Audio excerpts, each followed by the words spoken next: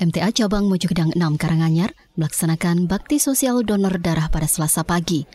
Donor darah berlangsung atas kerjasama dengan PMI Cabang Karanganyar. Ketua MTA Cabang Mojokedang 6, Ustadz Soekarno menjelaskan donor darah ini merupakan gabungan dengan MTA Cabang Mojokedang 1 Munggur, Mojokedang 2 Pojok, Mojokedang 3 Gentungan, serta MTA Mojokedang 6 Bancak. Bahwa ini menunjukkan hasil kaji sebagai amalan kemanusiaan yang mudah-mudahan dengan pelaksanaan donor darah ini sangat bermanfaat bagi saudara yang lain yang membutuhkan.